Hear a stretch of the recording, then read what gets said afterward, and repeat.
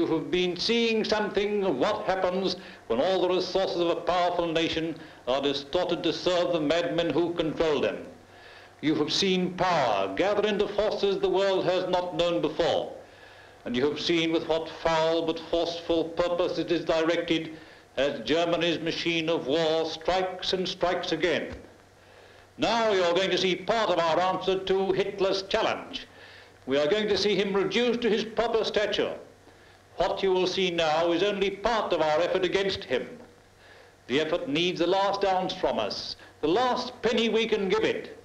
It should inspire a resolve, a resolve to lend a more generous part of our earnings and income through national savings to make sure that New Zealand gives the complete answer to Hitlerism.